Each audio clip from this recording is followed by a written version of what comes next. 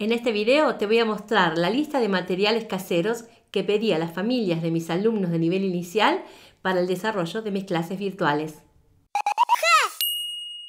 La idea es poder reemplazar los instrumentos musicales que obviamente no todos los niños tienen en casa por objetos sonoros caseros o simplemente cosas que puedan servirnos para movernos y hacer música juntos. Abrimos la caja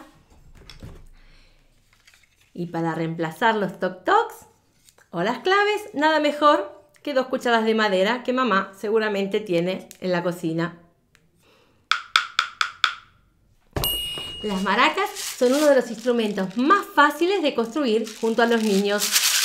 Basta rellenar un potecito, una botellita de plástico eh, con un poquito de arroz, fideitos o algunas semillitas. Y listas las maracas. Como ven, yo las decoré un poco. Botellitas de agua. Con los huevitos Kinder también construí otro tipo de maracas. Las llené de arroz los chicos se comen el chocolate y nos dejan los huevitos para construir nuestras maracas. Si quieren construir otro tipo de maracas, también les hago ver este tipo de maracas con el mango. Simplemente agarran dos cucharas de plástico que van a contener adentro el mismo huevito que les mostré antes. O pueden construir dos maracas también con dos vasos de plástico simplemente y rellenarlos con semillas, pastina o lo que quieran. Recuerden pedir a los papás y a las mamás de sellar muy bien todos los contenedores, todas las botellas, porque los chicos abren hasta lo imposible. A ver, a ver, a ver, ¿qué tenemos acá? Oh, una tapa de cacerola. La tapa de cacerola la podemos siempre tocar con una cuchara de madera. ¿Escucharon qué sonido? Este instrumento maravilloso nos va a servir para jugar con sonidos largos, con sonidos fuertes, para acompañar alguna canción. También les pedí dos tuppers o contenedores de plástico. Yo tengo en dos medidas diferentes. En mi caso son redondos, pero pueden ser cuadrados, rectangulares, no es importante la forma. Eh, seguramente uno más chico y uno más grande sonarán diferentes. Y construí dos baquetas con dos bastoncitos eh, para hacer brochet. Y les pegué con eh, pegamento una pelotita de telgopor, se dice en Argentina, no sé cómo se dice en tu país, que nos va a servir para tocar y para reemplazar nuestro pandero o tambor que en casa no lo tenemos. También les pedí un rallador. Ah, el rallador. Yo tengo un rallador que podemos usar con una cuchara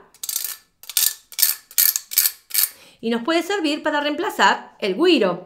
Si en casa no tienen ningún rallador o por ahí tienen miedo que los chicos se hagan mal y se lastimen, entonces pueden pedirles una botella de plástico de esas que tienen la superficie corrugada. Nos van a servir igual para reemplazarlo y para sustituirlo por el guiro. Y por último,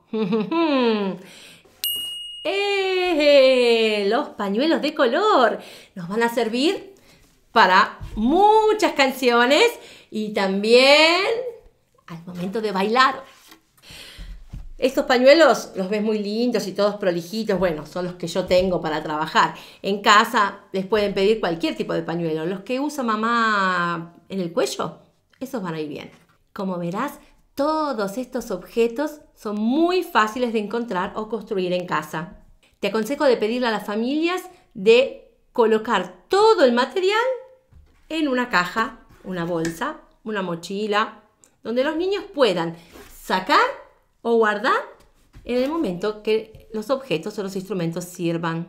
Si los niños tienen a la vista y a libre disposición todos los instrumentos y todo el material por el tiempo que quieran, esto no está bien, porque los chicos van a tener la tentación de tocar y de sonar y de mm, jugar con los pañuelos en cada momento, todo el tiempo. Pierden la atención y pierden la concentración de nuestra clase. Entonces lo mejor es que tengan donde poder guardar el objeto una vez que terminaron de usarlo. ¿Por qué hacemos esto? Porque es importante que los chicos aprendan a respetar las reglas también desde casa. Si te interesan este tipo de contenidos, suscríbete a mi canal y no te olvides de mirar este video con más recursos musicales para tus clases.